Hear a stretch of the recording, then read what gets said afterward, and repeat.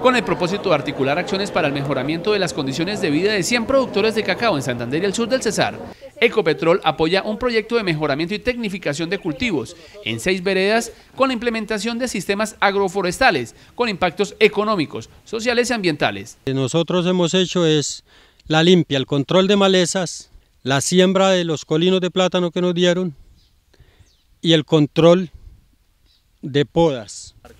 En los municipios de Aguachica, San Martín y San Alberto, en el sur del Cesar, se adelanta un modelo de reconversión tecnológica que consiste en la eliminación de 200 plantas improductivas de cacao y la siembra de 300 nuevas plantas, además la plantación de 360 maderables, 200 colinos de plátano y 300 estacas de mata ratón, donde se benefician 50 agricultores. Uno a veces no tiene como el, el dinero para conseguir las semillas y toda esa cosa y y entonces le dan a uno eso y, le prestan la asistencia también. Pues el proyecto como sí, eh, primero arrancó solo después de que consiguieron las ayudas con Ecopetrol y sí, hemos, hemos recibido ayuda de Ecopetrol.